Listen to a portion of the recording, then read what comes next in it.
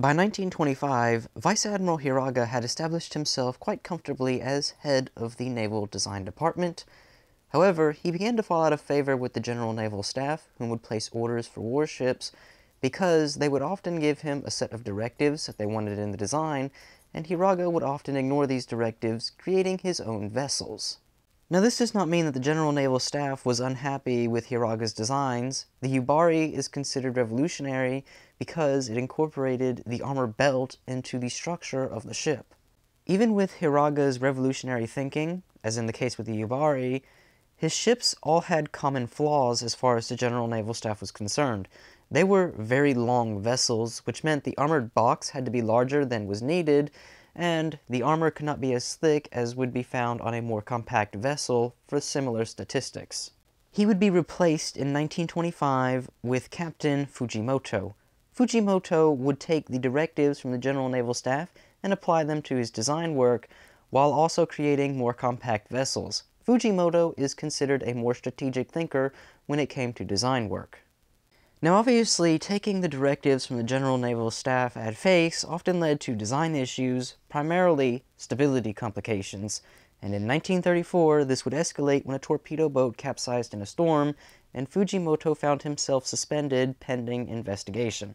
Once the investigation was complete, Fujimoto was let off without consequence because the Naval General Staff's directives played a major role in the capsizing of the boat, and thus they considered no one necessarily independent to blame. However, Fujimoto had always suffered from a severe drinking problem, and when he was suspended, this escalated, and in 1935 he would die from a stroke, often believed to be related from this increase in drinking. This moves us back a little bit to October of 1934, following the investigation. Fujimoto and Hiraga are both a part of the design team for the new A140 project. As Japan began to re-isolate itself in the 1930s and leave treaties that it had once cooperated with in the West, they began to look into designing a brand new super battleship, and this would obviously become the Yamato class, designed A140F6. During the design inputs for A140, we can note that there is a massive variety of designs, whether it be from turret layout, dimensions, gun caliber, propulsion system, armor thicknesses, you name it, it was different from design to design.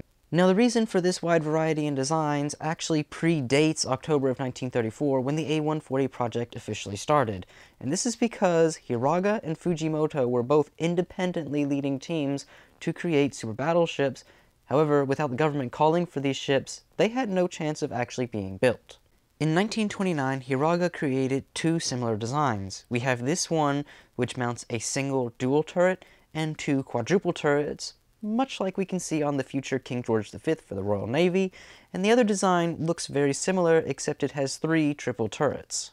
The quadruple turret design would mount 10 41 centimeter or 16.1 inch guns with two super firing forward and a single turret aft.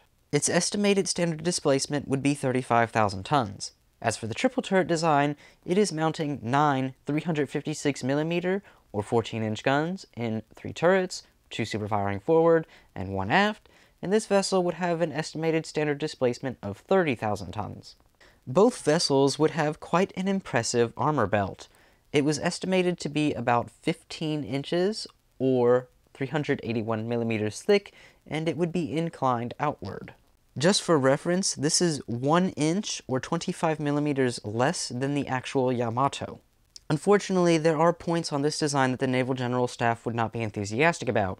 First off, it has a standard Hiraga hull, which is extremely long with a very large unprotected bow and stern, and it also has the standardized casemate style secondary guns, rather than just placing them all in turrets.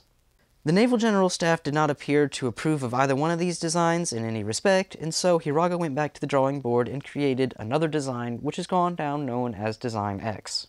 Now this design gets interesting when we look at the armaments for both the primary and secondary turrets. There would be four primary turrets, two triple and two dual, mounting a brand new 41 centimeter 50 caliber gun. The secondary turrets, which there would be two per side, would incorporate two 14 centimeter 55 caliber guns. The secondary turrets were also dual purpose, giving a maximum elevation of 75 degrees. Unfortunately, this design still has the standard lengthy Hiraga hull, and he still could not let go of secondary guns being placed in casemates along that hull. Regardless of this, the Naval General Staff appears to have liked this design as they had a mock-up model created of it, which you can see on your screen now. However, there is one important feature from this design that actually influences the A140 project, and this is the cross-section showing the ship's internal structure.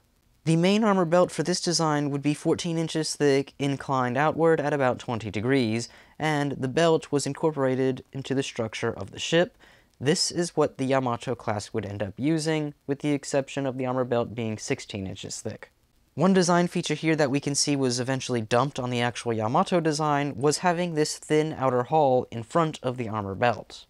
Now even though it appears the Naval General Staff was happy with this design, Hiraga was not done he had one more design in mind, and this would be an ultimate battleship design, coming in at an estimated standard displacement of 62,000 tons. Hiraga envisioned a ship with a similar layout to the Royal Navy's Nelson-class battleships, however, in this case it would mount nine 45 centimeter or 17.5 inch guns in three triple turrets. The secondary armament would all be placed aft on the center line, and this would be three triple turrets mounting 20 centimeter guns. And as for high angle anti aircraft protection, there would be six coaxial Type 89 12.7 centimeter guns along the superstructure. One important feature we can see in this design that eventually gets used during the A140 project is the estimated impregnability range of the armor box.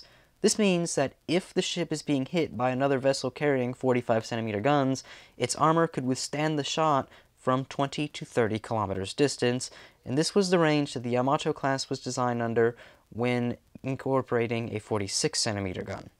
That is a look at all of Hiraga's designs, and so now it's time to take a look at what Fujimoto was cooking up.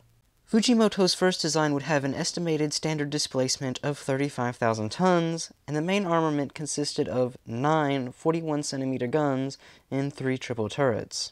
Now the secondary armament would be the 14 centimeter 55 caliber gun, which means that this must have been an actual gun caliber investigated by the Imperial Japanese Navy for production, as Hiraga had also used this on one of the designs that I had already mentioned.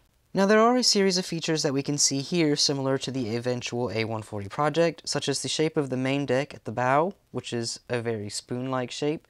Then we can also see that most of the armaments are concentrated along the superstructure and they are all encased in protective sheeting, and the area around the main guns is largely vacant to protect equipment from the blast of the large guns. Now that is the only design Fujimoto came up with under the table. By April of 1934, the Naval General Staff had asked him to research designs mounting 46 centimeter guns with the hull being of an unrestricted size because the future enemy was obviously going to be the United States Navy, and due to restrictions placed down by the Panama Canal, the Japanese were confident the United States could not build battleships with 46 centimeter guns on unrestricted scales. Now before we look at these designs, there are a few interesting points that I would like to make about them. The first point is, Fujimoto believed that the United States Royal Navy would catch on to the 46 centimeter gun and begin producing ships with the same gun caliber. And thus, instead of having to build all new ships, he would build these designs with triple turrets so that the barbette could be large enough to upgun them to dual 51 centimeter guns, which it is known the Japanese created at least one such weapon, however they destroyed it before World War II ended. Another design feature was he would need to alter the pagoda mast tower. Because the extreme blast pressure of the 46 centimeter and eventual 51 centimeter guns would damage equipment and kill the commanding crew within the tower, and thus we would see the first designs for the tower bridge, which was a fully enclosed structure. The decommissioned battlecruiser Hiei, which had yet to go through any reconstructions, was selected as a test bed for the new tower bridge, Though this reconstruction would not happen until 1937, it still predated the completed Yamato class, which gave the Japanese results on the enclosed structure as positive. The first design was an absolute monster. It had an overall length of 301 meters or 990 feet, and it had a top speed of 32 knots acting on six propellers. Now, a component to this design that was eventually investigated in the official A140 project is the propulsion system, using diesel over the steam turbine, since the Japanese were leaning towards this. However, eventually they did go with the steam turbine because if the diesel engine breaks down or wears out, they would have to replace the whole thing, which means you have to open the armored box, which on these dimensions was no easy task. We can also see the incorporation of three triple 46cm turrets, all focused forward in the Mogami style layout. We can also see that the Japanese were already planning on upgunning the Mogami class, as we can see four of the 15.5cm triple turrets located at the stern of this design. Now obviously this 67,000 ton design was impractical, and so it was logically downsized into a 50,000 ton ship that had an overall length of 289 meters or 950 feet with a top speed of 28 knots, only acting on four propellers this time. To help reduce the length of the ship, we can see that the Japanese opted for the Nelson-style turret layout for the main battery rather than the Mogami style.